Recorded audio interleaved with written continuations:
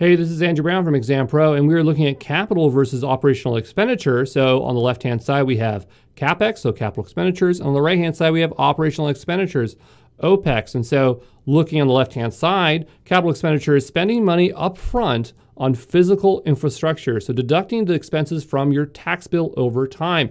A lot of companies, larger companies, are used to dealing with capital expenses and they know how to work their tax bill. And so that's why a lot of people are afraid to move over to the cloud because they're used to this, uh, this, this way of operating.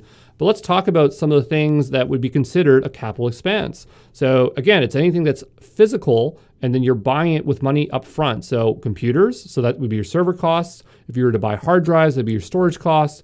If you bought routers, cables, and switches for your network, if you were uh, purchasing things for backup and archive costs, if you had disaster recovery, so like an uninterruptible power supply would be an example of that. Uh, you have your data center costs, so that's your rent, cooling, physical security, your technical personnel, so you're hiring people to, to do things for you. And so with capital expenses, you have to guess upfront what you plan to spend.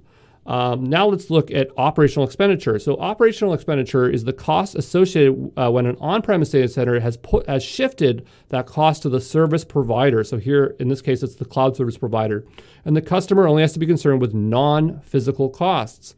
So what's examples of OPEX costs? Well, leasing software and customizing features, training employees in cloud services, paying for cloud support, um, billing based on the cloud metrics, so compute usage and storage usage.